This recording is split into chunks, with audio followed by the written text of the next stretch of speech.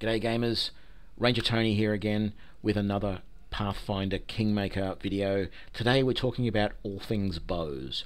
We're looking at the differences between bows and crossbows in Pathfinder and uh, what my recommendations are of which ones you should use. Uh, you should be aware this is a little bit different in Pathfinder than it has been in some of the other D&D systems.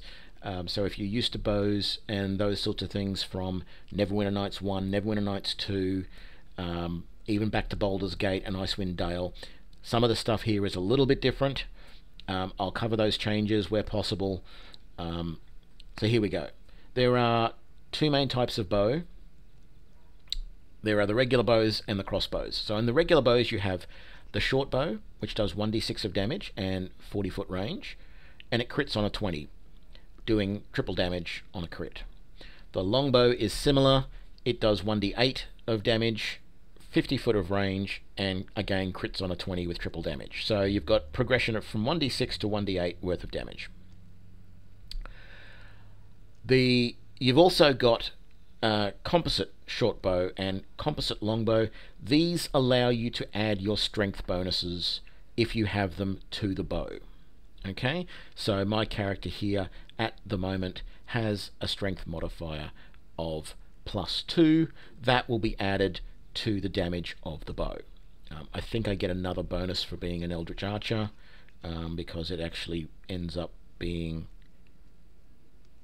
plus 3 when I put this bow on. Uh, sorry, this bow on. Um, and it will tell me... No, it doesn't tell me where it, what the damage is. But anyway, so if you have high strength, three, four points of, of strength bonus, then composite weapons are a good choice. The crossbows, however, do the same damage no matter what. So you have 1d8 for the short crossbow, and it does, again, 50 foot range.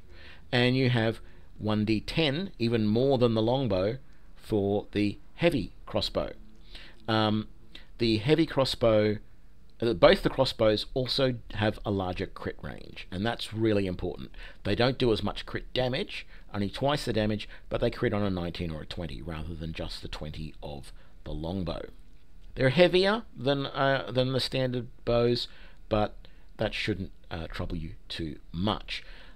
What you need to be aware of, though, is with the standard bows, I've said with the composite bows you can get a strength bonus, but with all of these bows, if you have a negative strength, such as uh, Linzi here, who has minus one on her strength, that will reduce the damage that you do on all of the standard bows, but not on the crossbows. So if we switch to this short bow, for example, you'll see that she does 1d4 minus 1. So she's losing one point of damage there. She's also only doing 1d4 because she's a small character, and small characters do less damage. So once we go to the crossbow, though, she does 1d6 without the minus 1. So there's a little bit of a logic problem there because the idea is is that characters that are well first of all the idea is if your strength is low and you have a negative value then you're go on the the standard bows you're going to do less damage and that does make sense right but then the idea is is that the small characters do less damage with all weapons as well because they are not as strong as a normal human and that's the way to reflect that. The problem is, is that a crossbow is purely mechanical. So you have to draw the bow back to the same distance every time and lock it into the trigger mechanism. Um, that means that it doesn't matter whether a child shoots it, a halfling shoots it, an adult shoots it, or a giant shoots it, that bow is going to do the same damage every single time. So that's a bit of a logic problem there. We'll ignore that which bow should you use in which situations. If you are a character whose primary weapon is going to be your bow, I would recommend the crossbows, and in fact the heavy crossbow over everything else. So while it only does 1d10 of damage, the crit is what ends up being important. If, however, you have a high strength modifier, so you've got plus three or more in strength, you might want to try a composite longbow to get that extra damage.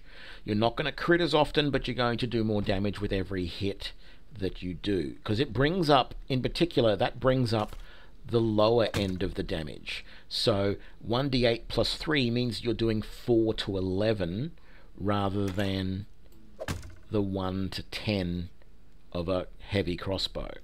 Okay, so that extra lower end damage can be useful. Um, if you're playing someone who's not a bow user at all, or you've got low strength, you're better off going with the crossbows um, because you get the advantage of the crit from that and even the light crossbow, which I think pretty much every character can use, does 1d8 damage, which is comparable to a straight up longbow.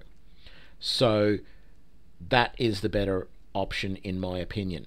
If you're playing a small character, such as a halfling or a gnome, then you'll want to use the crossbows over the regular bows, and if possible, you'll want to use the heavy crossbow over the light crossbow because then with the heavy crossbow you're still going to be doing 1d8 of damage uh, which is comparable to a medium-sized person using a light crossbow or a longbow.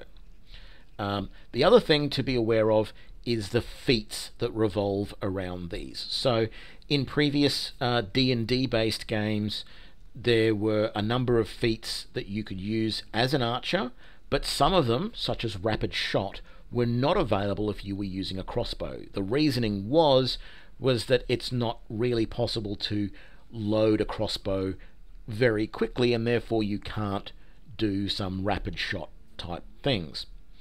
That's not a problem in Pathfinder. Pathfinder lets you do rapid shot with a crossbow um, because they have a slightly different uh, mechanic on how they handle combat in the round, and so they allow you to do that.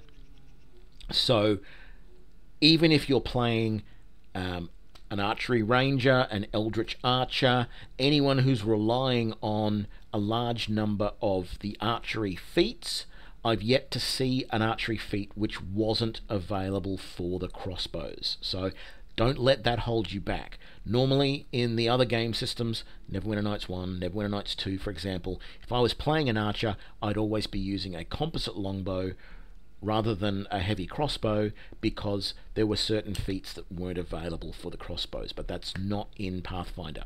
So my recommendation is go with the heavy crossbows if you need the the the power. If stick with crossbows if you don't have much strength. If you've got lots of strength though, pick a composite bow, uh, preferably a composite, composite longbow, and uh, above all, have fun, guys. So I'll if you've got any comments, let me know in the video. Like and share this, and I'll see you on the next video. Thanks a lot, guys. Bye.